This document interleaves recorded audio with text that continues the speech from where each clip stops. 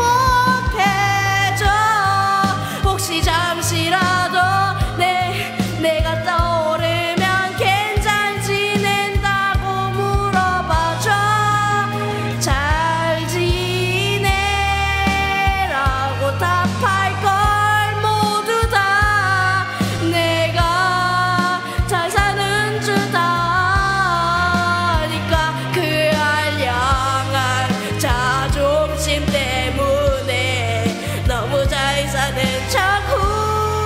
후려나 척 살아가 좋아 정말 좋네 딱 있기 좋은 추억 정도니 난 딱 알맞게 사랑하지 못한 뒤끝 있는 너의 예전 남자친구일 뿐스쳤다